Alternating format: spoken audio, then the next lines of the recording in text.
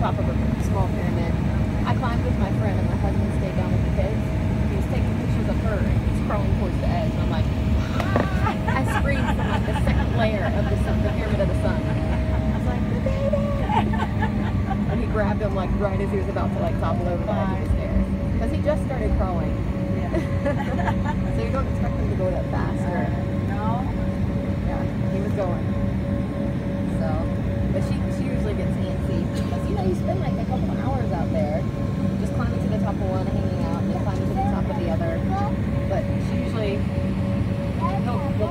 With them on the bottom, and one of us will go up, and the other one will stay down. And she does better with that. She doesn't do well in the sun and the, bright the, the brightness of the sun and stuff. Yeah, we've been taking umbrellas, in and that's helped a lot.